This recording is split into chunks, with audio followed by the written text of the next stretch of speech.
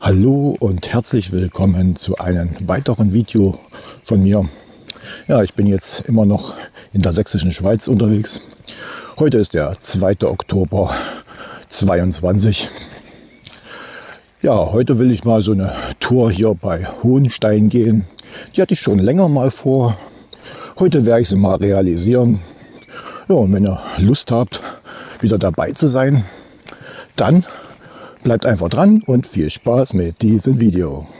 Vor mir liegt jetzt erstmal hier dieser Hockstein.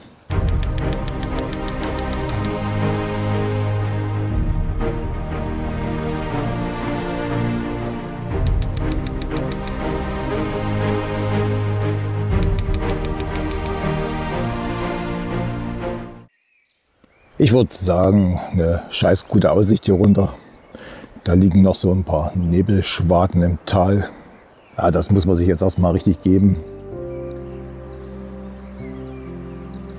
Es wirkt irgendwie sehr, sehr hoch, wenn man jetzt hier runter schaut. Und genau darunter geht es jetzt gleich. Auf der Gegenseite von dieser Aussicht liegt dann Hohenstein mit der entsprechenden Burg nebenan. Von diesen Hocksteinen gibt es hier so einen genialen Abstieg. Es geht hier so zwischen einer engen Felsenschlucht durch. Also hier wird es jetzt vielleicht ein bisschen dunkel, aber richtig genial. Jetzt fällt mal noch ein bisschen Licht hier rein. Jetzt geht es einigermaßen wieder. Aber der Blick hier runter, der ist sagenhaft.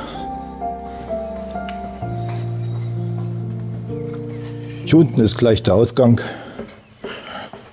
Und da haben wir es gleich geschafft. Oh, nochmal ducken. Da musste wirklich schräg laufen. Ich kann also die Kamera nicht schräg halten. Die war schon gerade, weil die ist waagerecht. So, und jetzt sind wir unten. Nochmal ein Blick, wo ich jetzt hier raus bin. Wirklich durch diesen Felsspalt hier kommt man dann raus. Ich habe das ja übrigens auch schon mal gefilmt. Vor längerer Zeit bin ich mal hier lang. Ja, da gibt es auch noch irgendwie ein Video vom Hockstein. Könnt ihr euch ja mal anschauen. Heute gibt es ein neues. Gehe ich halt mal so ein bisschen eine andere Tour. Und das ist ja, wie gesagt, bloß der Verbindungsweg zur anderen Tour. Ich brauche ja wahrscheinlich nichts weiter zu sagen. Einfach fantastisch. Diese Felsen wieder hier. Vor mir ist wieder eine steile Treppe. Die geht jetzt wieder runter.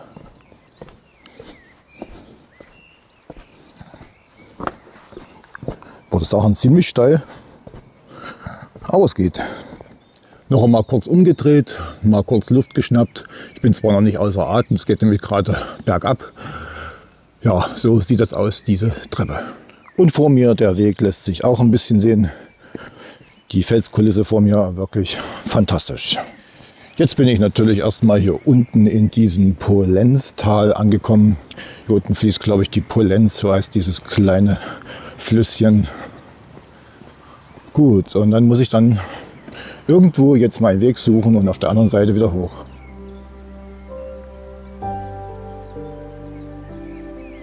Das hier nebenan ist ein Hotel und Pension.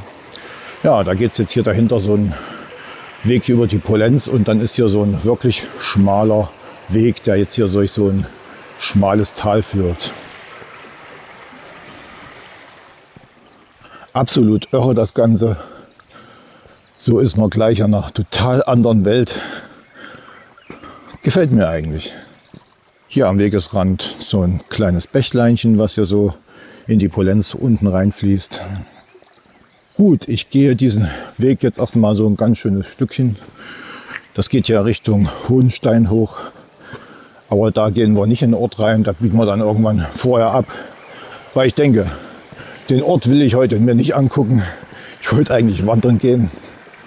Aber der Originalweg von der Nationalparkverwaltung geht dann durch den Ort. Grund ist, weil man der da oben parken soll.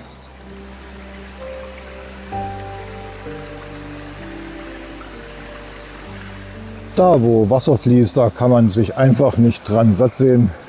Sieht einfach immer genial aus. Vor mir wieder so eine kleine Übergangsbrücke. Da geht es jetzt erstmal drüber und dann geht es so abenteuerlich weiter diesen Weg hoch. Heute ist alles ein bisschen sehr, sehr nass. Das heißt, aufpassen. Scheiße, ich habe es schon wieder getan. Da fließt wirklich schön hinter dem Fels das Wasser hervor. Sieht einfach fantastisch aus. Hier nochmal eine Aufnahme etwas näher. Und jetzt wieder noch ein kleines Brückchen. Auch das ist ein sehr schöner Spot. Da kann man einfach nicht dran vorbeigehen. Da muss man einfach mal eine Aufnahme machen. Für einen regenreichen Tag von 75 Prozent scheint hier mächtig die Sonne. Die geht nämlich gerade auf. Die Bäume hier vor mir, die haben wieder ein wahnsinniges Grün. Das gefällt mir nämlich auch. Jetzt bin ich erst einmal den steilen Berg total hochgelaufen. Also die Schlucht war schon relativ steil. Ja, da kommt man ein bisschen ins Schwitzen. Jetzt geht es eigentlich wieder. Jetzt geht es zwar noch leicht bergauf, aber ich denke mal, das war es dann erstmal. Nur auf den Rückweg habe ich die gleiche Strecke nochmal. Jetzt muss ich erstmal hier diese Wasserrinne queren. Aber hier fließt überhaupt kein Wasser mehr runter. Auch ziemlich trocken. Jetzt habe ich erst einmal so ein bisschen einen langweiligen Weg. Ja, schön breit und gut. Kommt man auch schnell voran. Aber ich denke, das wird gleich wieder besser werden, weil dann geht es nämlich unten unter den Felsen wieder zurück. Jetzt bin ich hier so auf so einen nicht so stark geräumten Weg abgebogen. In der Hoffnung, dass nicht ganz so viele Bäume quer liegen. Aber das geht jetzt hier schon ständig so. Na, mal sehen, ob es besser wird. Und gleich wieder der nächste Baum. Das kann noch sehr spaßig werden. Ah, Gott, das wäre geschafft. An dieser Stelle sei noch mal gesagt, also ich würde keinen empfehlen, diesen Weg hier zu laufen. Es könnte sehr gefährlich werden. Also das sei noch mal gesagt, das jetzt ist hier wirklich nicht der Wanderweg, den ich da so rausgesucht hatte, sondern das ist mein abgeänderter Weg. Also das kann Spaß machen oder auch nicht. Aber es ist sehr unwegsam. Und deswegen sage ich, haltet euch fern. Versucht es nicht erst. Nicht, dass ihr euch noch irgendwas brecht. So, schauen wir mal. Hier so ein kleiner Pfad am Felsen lang. Ich weiß jetzt nicht, wo man lang gehen kann. Wahrscheinlich hier auf der Felskante wäre es vielleicht möglich, darüber zu klettern. Und schaut selber, was ich hier meine. Hier ist wirklich jeder Schritt muss überlegt sein. Das scheint ja jetzt doch eine Sackgasse zu sein. Also hier kann ich beim besten Willen nicht um den Fels klettern. Das ist wahnsinnig gefährlich. Ich habe jetzt einen Weg tiefer versucht. Also hier an dieser Stelle wird es nochmal sehr kritisch. Hier runter zu klettern ist sehr, sehr glatt. Und dann hoffe ich, dass es jetzt hier irgendwo weitergeht. Sieht irgendwie nicht danach aus. Also von da oben komme ich her, habe das jetzt hier irgendwie absolviert, hier runterzukommen. Ja, und hier ist dann eigentlich der Weg, den ich eigentlich gehen wollte. Der war mir nämlich vorhin ein bisschen wegen den Bäumen versperrt. Da habe ich den Weg ein wenig verfehlt. Aber trotzdem soll das dann kein Freifahrtschein sein, weil ich den Weg ein bisschen verfehlt habe. Und das war dann saugefährlich. Ja, das passiert dann eben. Aber wie gesagt, kein Freifahrtschein, denn hier muss man auch verdammt aufpassen. Hier geht es nämlich auch mächtig tief ab. Und sollte der eine oder andere davon nicht abgeschreckt sein und so eine Tour trotzdem machen, ich würde immer empfehlen, macht sie nicht so lang, konzentriert euch auf so ein kurzes Stückchen Weg. Also das ist jetzt auch nicht so wahnsinnig weit, was ich hier auch laufen werde. Dann geht es wieder auf normalen Wegen weiter. Aber man muss sich dann eben sehr konzentrieren und irgendwann werden auch die Beine müde. Und das ist eben auch sehr wichtig, dass man das weiß. Und hier vor mir wieder so eine kleine Herausforderung. Das heißt, wieder hier drunter durchkriechen. Yeah.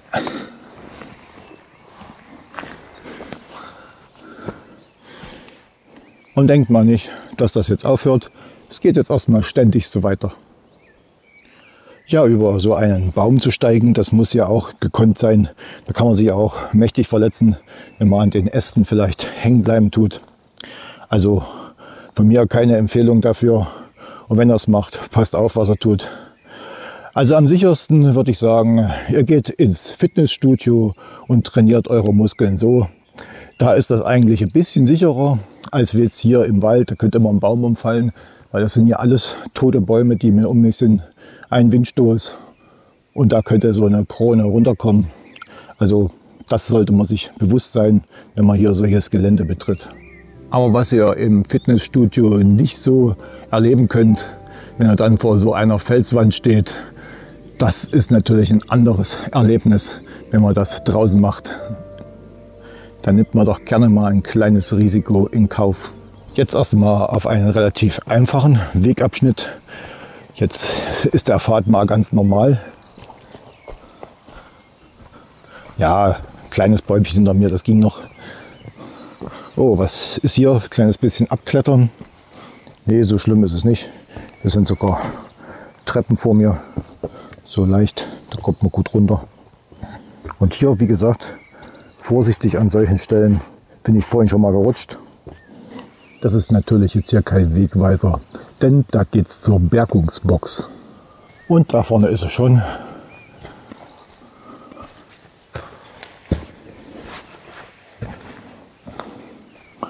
Gut, schauen wir mal hier auf den Weg. Ja, mal sehen, wie es jetzt weitergeht. Zum Glück geht der Weg jetzt zurzeit einigermaßen normal. Da kommt man ein bisschen voran. Aber man muss eins bedenken, da oben bin ich es in zehn Minuten gelaufen und hier unten laufe ich es in anderthalb Stunden. Wenn der Weg nicht so mit querliegenden Bäumen gesät ist, lässt sich das ja auch angenehmer laufen. Man sieht ja, man kommt dann einigermaßen voran. Dadurch steigt dann auch wieder der Spaß- und Genießerfaktor, weil dann hast du auch wieder Lust, hier lang zu laufen. Und dadurch kann man die Felsen auch in sich wirken lassen, weil die Zeit sollte man sich echt nehmen.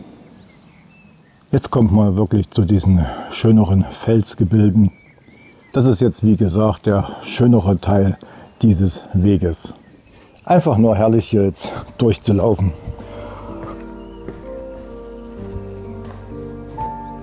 Und wie geil ist das denn?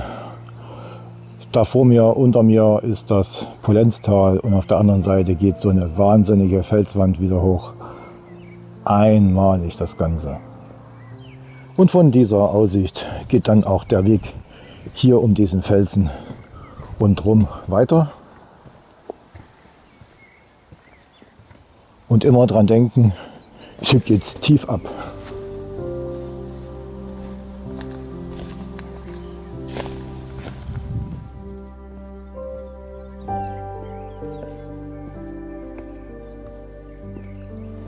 Und dieser Hammerweg will einfach nicht enden. Ist schon absolut irre. Jetzt noch mal auf die andere Seite geschaut. Ja, diese Felstürmchen auf der anderen Seite sind jetzt mal ein bisschen anders angeleuchtet. Und weiter geht's auf diesen Fahrtweg.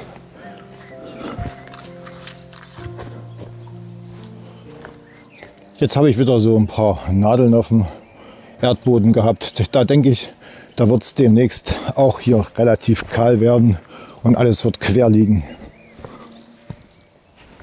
Gut, jetzt hier weiter.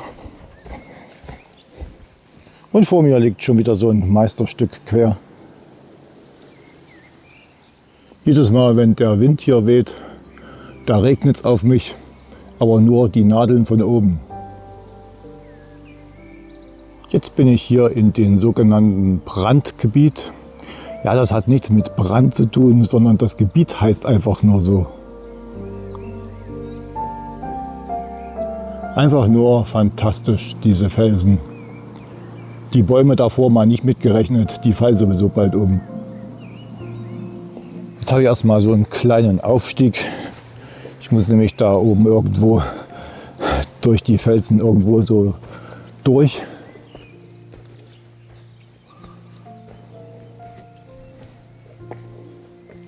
Der Weg auf der Karte, der geht jetzt hier irgendwie so durch den Fels durch. Ich glaube, das ist der Durchgang. Ach du Scheiße, da komme ich bestimmt nicht mit Rucksack durch. Ich nehme mal lieber ab. Da geht es einigermaßen.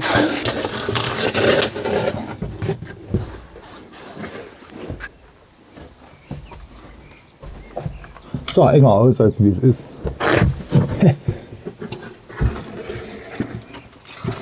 Das war mal ein cooles Erlebnis jetzt. Und weiter geht es hier auf den Weg. Es liegt hier auch wieder sehr viel Rinde unten. Ja, könnt ihr sehen. Alles putt, putt, putt. Auch tot. Und dann folgen gleich wieder so ein paar Mikado-Stäbchen. Jetzt geht der Weg bis zu diesen Felsen da hoch. Ja, das sieht so aus, als ob das wieder durch den Felsen durchgeht. Also auf meiner Karte geht der Strich durch den Felsen. Und ich glaube, das ist auch so. Hier geht es jetzt durch. Plus diesmal nicht ganz so schmal. Jetzt habe ich relativ viel Platz hier beim Durchgehen. Und auf der anderen Seite, da schauen mich Tafelberge vom Feinsten an. Das ist wirklich absolut irre. Hier nochmal so ein kleiner Größenvergleich, wie groß die Dimension hinter mir ist.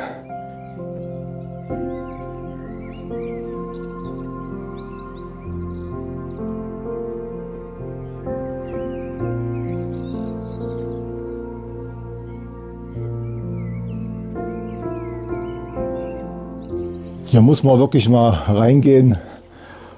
Ist wirklich irre. So gut wie eine kleine Höhle könnte man sagen. Aber ich halte noch mal die Kamera rein und zeige noch mal, wie schön das hier drin ist. Hier könnte man auch noch ein bisschen Spaß haben, wenn man das möchte. Aber in der Schlucht hier geht es nicht weiter. Der Weg geht jetzt hier an der Seite weiter. Und weiter geht es hier immer nur mit Felsen, Felsen, Felsen. Und hier wieder mal ein kleiner Unterstand für die Zeit, wenn es mal wieder regnet.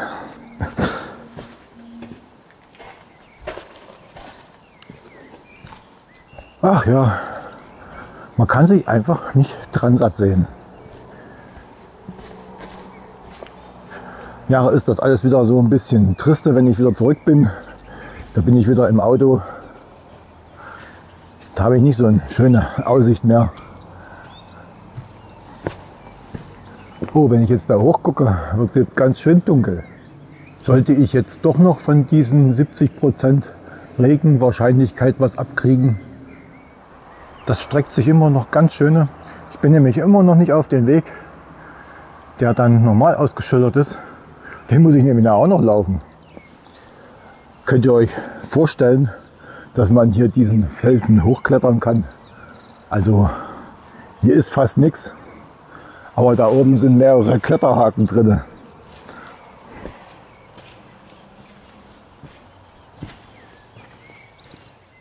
Das hier nennt sich kleiner Kuhstall. Dem großen Kuhstall ähnlich, bloß etwas niedrig gehalten. Halt, halt klein, ja. Mann, der Felsen vor mir ist wieder mal so wahnsinnig gigantisch. Ja, das wird jetzt wahrscheinlich das letzte Relikt hier auf diesem einsamen Weg sein. Ich höre nämlich schon wieder Stimmen von Menschen. Ja, ich komme jetzt gleich auf den offiziellen Weg. Da wird wieder allerhand Betrieb sein. Ja, jetzt bin ich wieder auf diesem etwas offiziellen Weg. Hier soll es noch so eine kleine Höhle geben. Diebshöhle oder so nennt sich das Ding. Kennt ihr aber woanders noch eine. Aber sehr groß ist das jetzt hier nicht. Bisschen etwas größerer Unterstand. Ich habe jetzt keine Taschenlampe mit. Bisschen dunkel.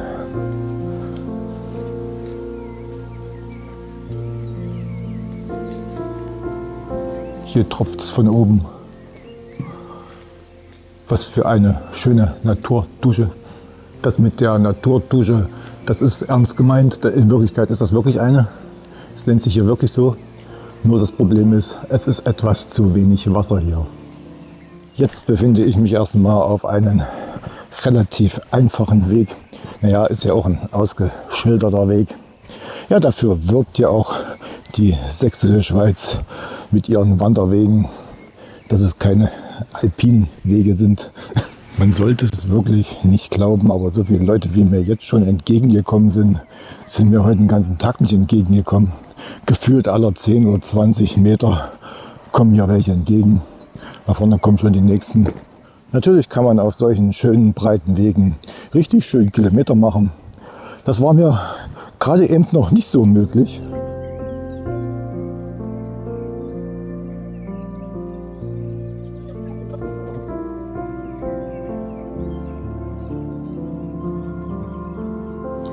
Aber auch auf diesen schönen, viel bevölkerten Weg sind auch schöne Felsformationen zu bewundern. Wir haben es jetzt 12.15 Uhr und jetzt kommt der erste Regenguss runter. Ich habe zwar erstmal eine sichere Höhle gefunden, da wäre ich erstmal nicht nass. Ziemlich dunkles Loch, würde ich sagen. Scheiße, jetzt geht's richtig los. Naja, ich habe ja einen Schirm mit, so schlimm ist es nicht. Ja, und zehn Minuten später hat schon wieder aufgehört. Dafür lohnt es sich nicht, eine Regenjacke oder einen Schirm rauszuholen. Ja, ich bin jetzt erstmal wieder auf den schönen Weg hier. Schön breit. Lässt sich wirklich sehr gemütlich laufen. Hier drüben wieder so eine schöne Felsenkulisse. Denn hier auf dem Weg liegt jetzt noch die Gautschgrotte. Ja, ich denke mal, da ist ein bisschen was los. Mal sehen, ob ich da so ein paar kleine Aufnahmen machen kann. Ich gehe mal kurz hin. Ja, das geht jetzt hier hoch. Da oben sind allerhand Leute.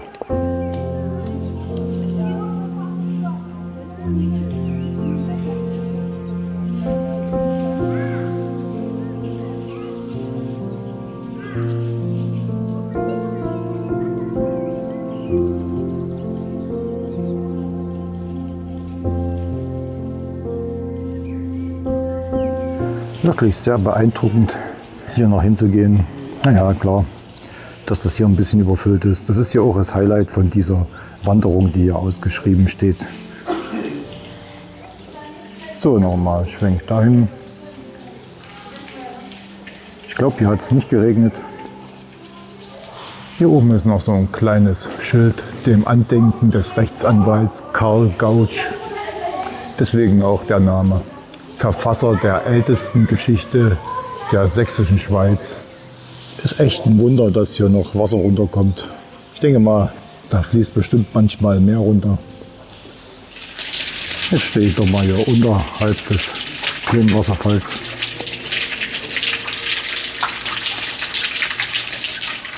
Gut, das Teil habe ich jetzt hinter mir gelassen. Das war auf jeden Fall nochmal ein richtiges, schönes Erlebnis. Denn viel wird heute nämlich nicht mehr kommen geht es wahrscheinlich bloß noch so ein bisschen hier auf den Weg. Und dann komme ich auf den Weg, wo ich heute früh schon hoch bin in dem Tal. Da muss ich nämlich noch einmal runtergehen. Aber hier auf dem Weg sind wirklich noch einmal richtig schöne Felskulissen. Das kann man noch mal jetzt genießen. Es wird sich nämlich gleich ändern. Vor mir jetzt noch so ein kleiner Aussichtspunkt. Ja, da ist gerade frei geworden. Mal sehen, was wir sehen. Eigentlich nicht viel, nur den Felsen gegenüber. Und hier unten fließt natürlich die Polenz im Polenztal. Hier unten kann ich so ein paar Menschen erkennen. Ja, die laufen da auch in Massen. Ja, hier, das scheint jetzt das Tom-Eck zu sein. Zumindest ist es da auf den Stein gemeißelt von 1943. Und hier wieder gelöcherter Stein. Wenn man jetzt das Wegesystem hier sieht, wo ich gerade drauf laufe. Ja, da kommt nicht so viel Abenteuer auf. Aber wie gesagt, die normalen Leute wollen ja auch hier ihren Spaß haben und wollen auch mal ihren Ausflug machen dürfen. Muss ja nicht alles so alpin sein. Hier jetzt noch ein schöner Blick zur Burganlage Hohenstein rüber. Ja, jetzt versperrt man noch ein bisschen diese, diese vertrockneten Bäume vor mir. Aber in ein paar Jahren hat man bestimmt hier eine gute Sicht bis darüber muss das jetzt noch sein, hier diese Matschepampe. Jetzt laufe ich eigentlich den gleichen Weg wieder zurück.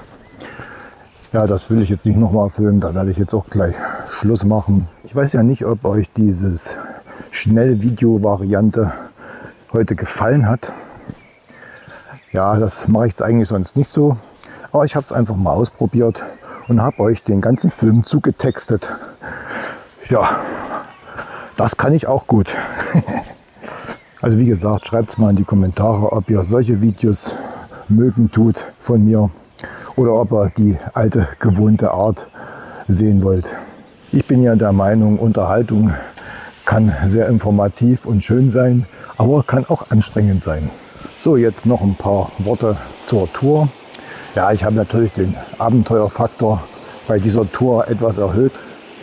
Ich werde diese Tour auch nicht veröffentlichen. Nicht, dass einer auf falsche Gedanken kommt. Also wenn er das tun sollte, muss er sich das dann selber zusammenstellen. Ich werde aber den Link zur offiziellen Tour bereitstellen. Ja, wie war die Tour für mich? Auf jeden Fall sehr spannend und mir hat es auch wirklich Spaß gemacht. Also ich habe da so auf meinen Spaßfaktor eingestellt und das muss jeder selber wissen, was er will und was er braucht. Blöd, jetzt muss ich noch mal bis ganz da hoch. Da oben ist diese Aussichtsplattform, das ist ungefähr die Höhe, wo ich hin muss. Oh, ich mag nicht mehr. Muss ich denn so fast so schwitzen zum, zum Schluss noch? Jetzt bloß nicht stehen bleiben, nicht, dass ich doch anfange mit Schwitzen. Ich denke mal, ich habe es jetzt gleich geschafft. Ah, da bin ich jetzt gleich am Auto zurück. Ja, dann werde ich gleich das Schnellvideo noch auf dem Rechner kopieren und werde es gleich jetzt noch am Nachmittag schneiden. Und da steht es schon zur Verfügung. Aber noch nicht freigeschalten, sonst sind es zu viele Videos am Tag. Und in diesem Sinne, dann macht's gut, bis zum nächsten Mal. Tschüss.